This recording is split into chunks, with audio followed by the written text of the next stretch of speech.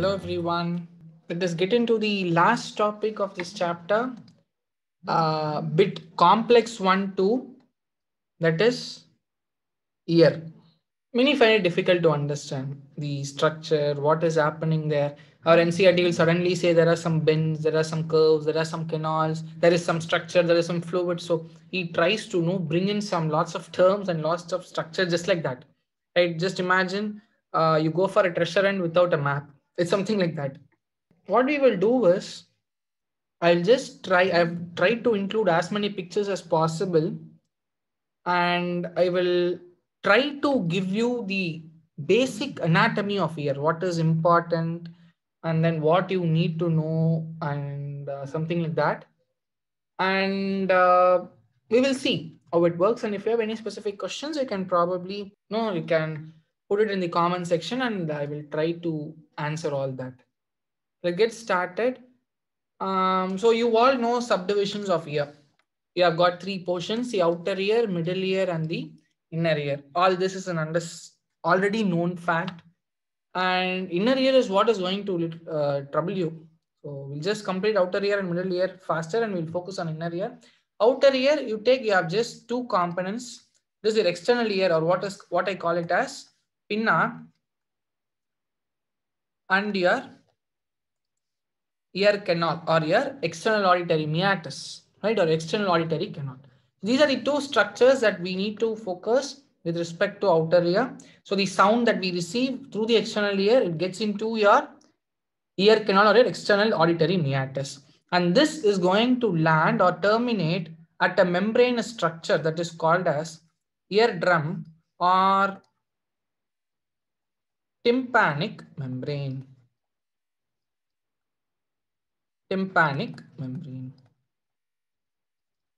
So it is made up of good amount of connective tissues. So with respect to external ear, what you need to know is just the names, right? So we have seen what is pinna and we have got an external auditory meatus or the canal that is going to terminate at your tympanic membrane.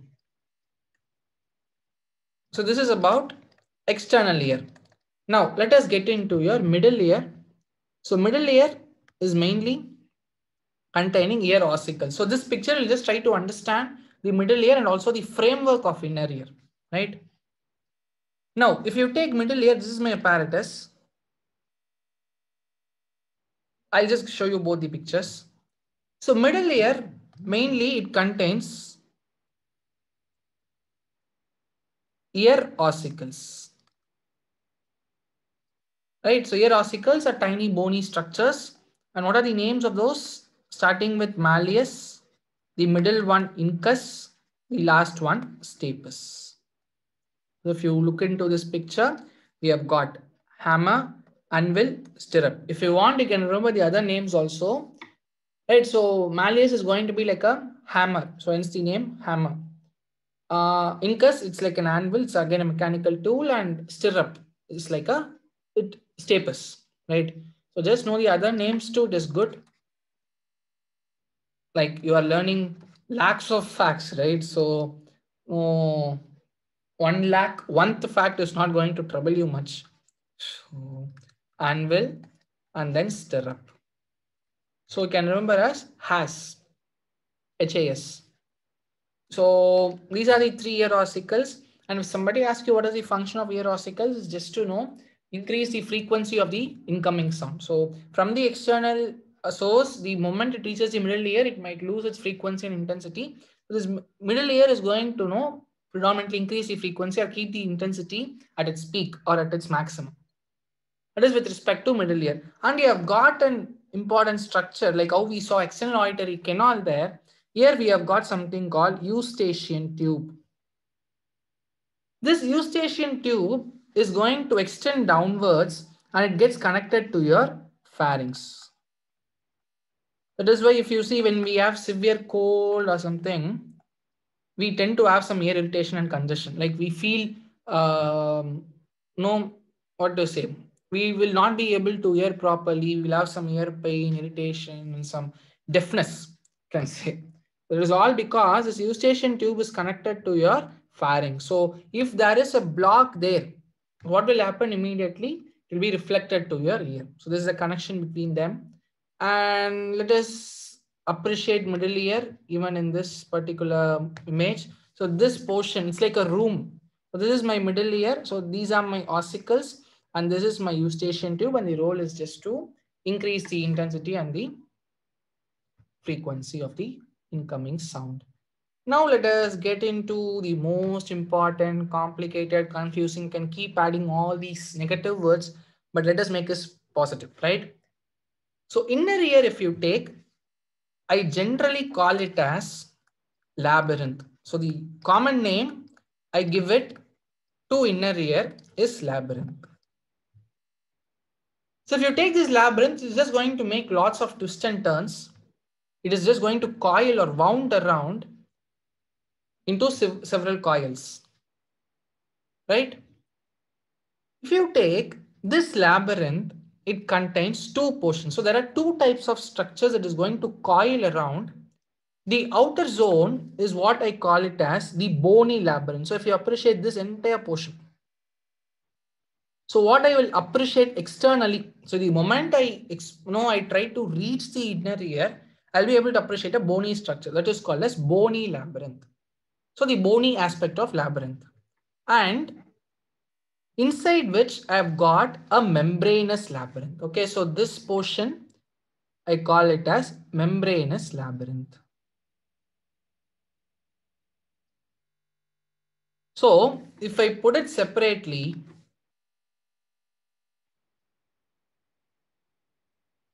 So let me pull this down. This is my bony labyrinth inside which I've got a membranous labyrinth. Okay. So we'll just try to appreciate what happens. Now, if you look at this, you will be able to appreciate some spaces. So between the membranous and the bony labyrinth, right? So if you take this bony labyrinth, it contains a fluid called as perilymph. Why the name peri? Because it is going to be peripherally placed. So if you take, all, this is like a boundary, right? So this peripheral place, so I call it as a perilymph. And inside this, so this is my membranous labyrinth. So inside this membranous labyrinth, I've got a fluid and that I call it as endolymph because it is present inside. I call it as endolymph. This is the first thing that you must know. So what is this labyrinth? It refers to inner ear. So this inner ear is going to contain lots of coils. This coil is made up of some bones. Inside this bony coils, I have got some membranous coils. Membrane means what? It's like a soft tissue. I've got some membranous coils. This bony coil contain a fluid, I call it as perilymph. And inside this membrane, I've got something called as endolymph. So just imagine like a hollow cylinder. So this outer aspect, you all know, you'll have two cylinders, like outer, uh, you would have done, this is all 10th mathematics. Hollow cylinder, outer, uh, outer radius of capital R, and inner radius of small r. So if you take, this is my bony labyrinth, this is my membranous labyrinth, and this entire bony labyrinth is made up of a fluid called as perilymph. I'm just trying to show you multiple possible diagrams so that you get to understand this. A basic question that can be asked. And inside this membranous labyrinth, I've got a structure or a fluid I call it as endolymph. Right? So now the most of us are going to be worried about membranous labyrinth because that is where we have lots of structures. Let's get back to the structure again and try to appreciate few things. So if you appreciate this membranous labyrinth, in between you have got another membrane, you have got some three zones and all that, right? So what will happen? This membranous labyrinth, I told you it's like a soft tissue, it's like a membrane, right? This membranous labyrinth is containing some structures, especially called as Reissner's membrane, and it is also called something called basilar membrane, this one. So it has got two membranes. What are they? One is basilar membrane. Another one is your tectorial membrane.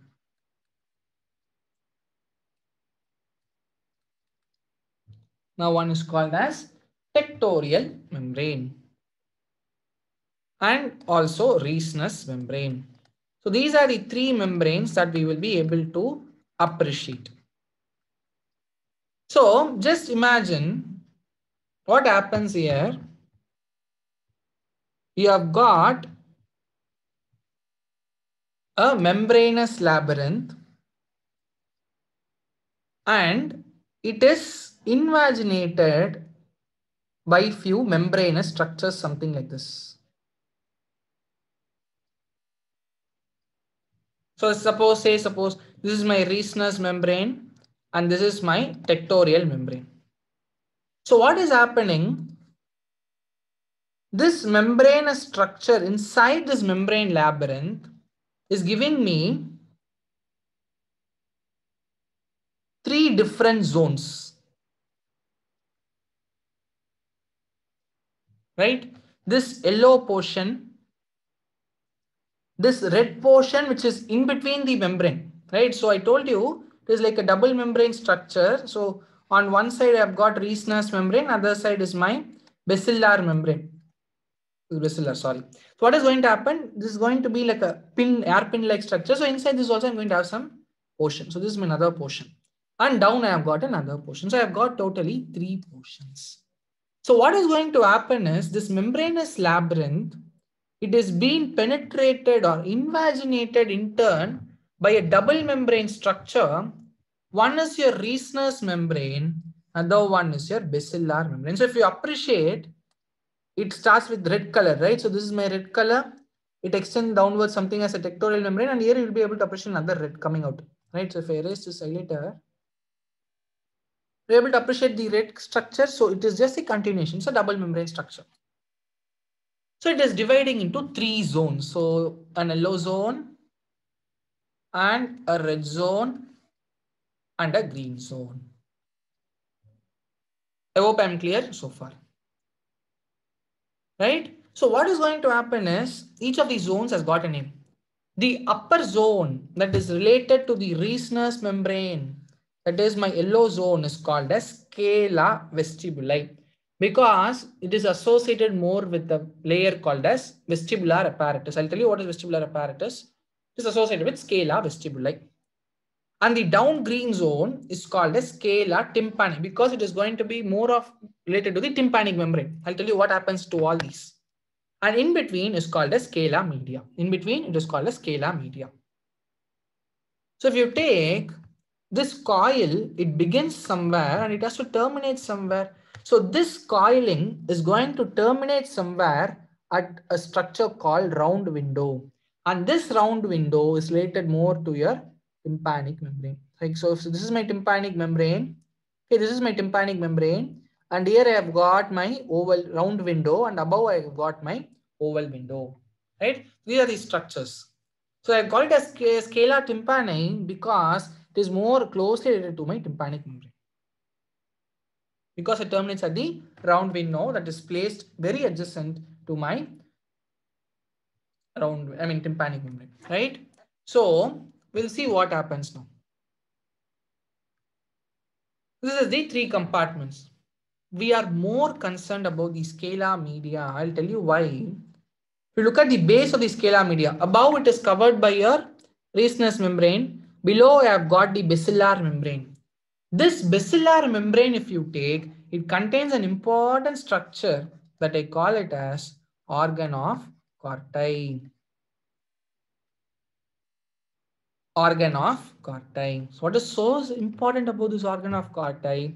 That it contains the auditory receptors. Like how we saw photoreceptor cells in eye, similarly, we need to have some auditory cells, right? Which can receive the sound waves.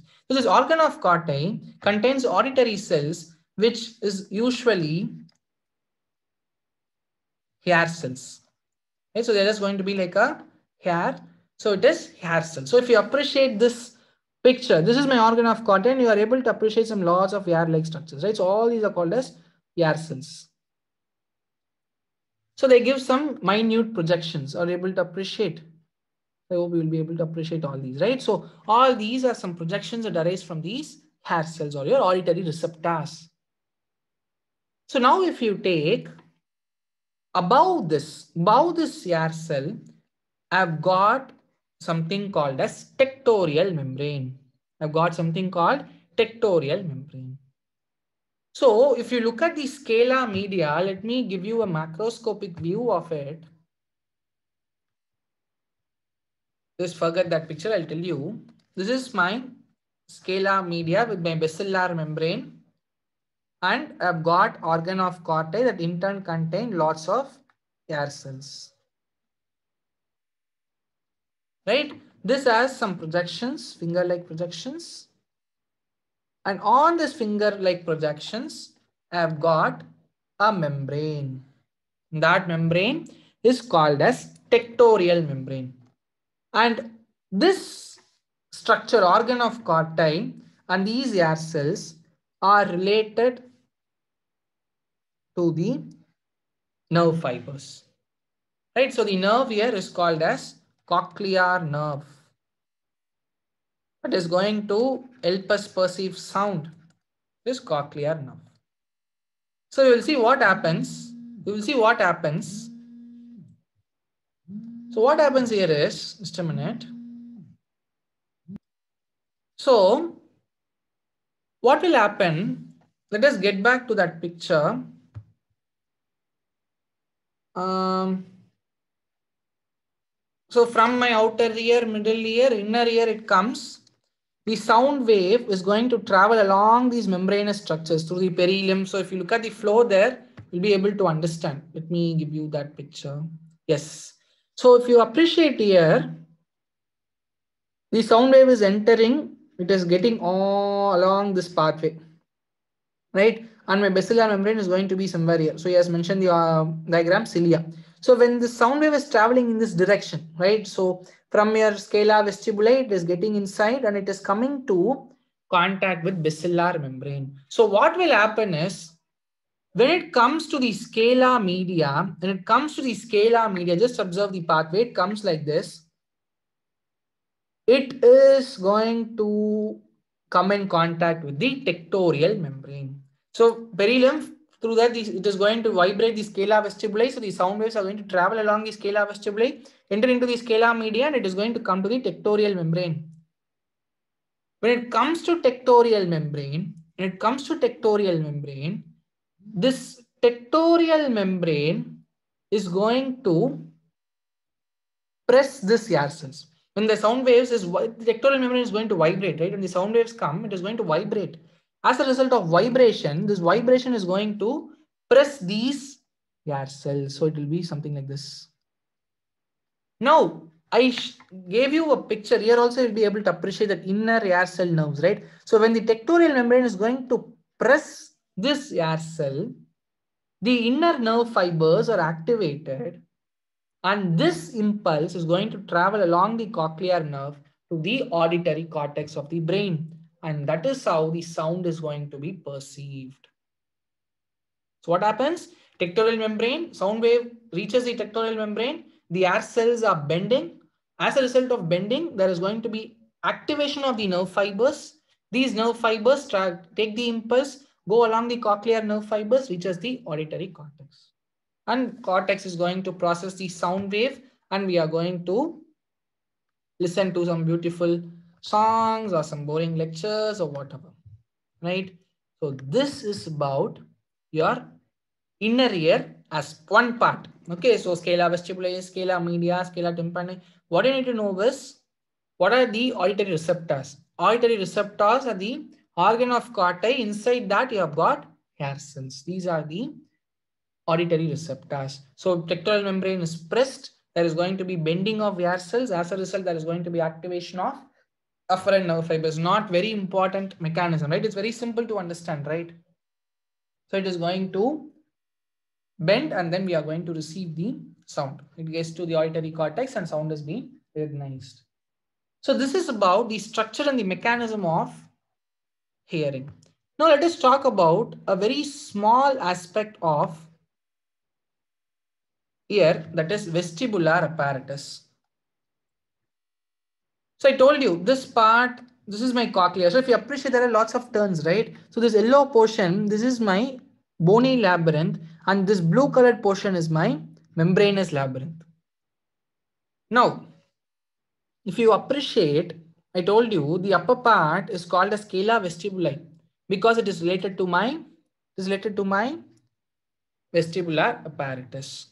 So this vestibular apparatus is going to mainly help in maintaining body posture, body balance and body pressure. You might wonder how it is happening. This vestibular apparatus is going to sense that we have got some issues in body posture. It sends to the cerebellum and then the body posture is being corrected. So the receptors for the body posture is also located at the vestibular apparatus.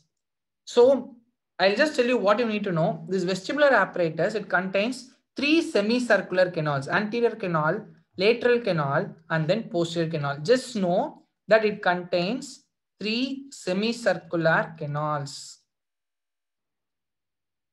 So if you take, this is my anterior canal, this is my posterior canal, and this is my lateral canal. And you have got two sensory organs, that is saccule and utricle. Like how we saw organ of Corti there. Similarly, if you take here, you have got saccule and utricle. Even in organ of Corti, what is responsible for uh, sensing all, um, which is which is going to initiate the hearing? It is the air cells, right? So air cells are going to bend, and as a result of that, only the nerve fibers are going to carry the sensation. So similarly, here if you take, these are some typical structures wherein there is a part called as macula this macula is the receptor that senses some disturbance in the body posture. So when there is disturbance in a body posture, it is sensed by this macula. Is it only this macula? No. If you appreciate, he has mentioned a structure called ampulla. So ampulla, if you take it, there are some projections present in each of these canal. So if you appreciate, this is my anterior canal towards the terminal part of the anterior canal. So again, if you take this vestibular apparatus has got bony part and labyrinth part. If you appreciate, the bony labyrinth is going to continue like this, right? And membranous labyrinth also, if you take it continues like this. So this is my membranous part, this is my bony part. So the membranous part of the semicircular canal towards the end. So if you take, suppose the anterior canal begins here, this is my end of the anterior canal, this is my end of my lateral canal, this is my end of my posterior canal all these contain some projections like so it is just bulging and projecting like this. So all these are called as ampulla. This ampulla which is the bulge present at the terminal of each of these canals has got some ridges on top of it. Can you appreciate all these? So these are called as crista ampullae so crista ampullae and macula are together the receptors that are responsible for sensing this disturbance in the body posture. So ultimately, oh, I do not understand the vestibular apparatus. I do not know what to do. Just know that it contains three semicircular canals. There are two organs, saccule and utricle, out of which macula is the sensory receptor and also the crista ampulla. So these both together is the sensory receptor for vestibular apparatus. Right? This brings me to end of this lesson. I will see you in some other video. Thank you all. Bye bye.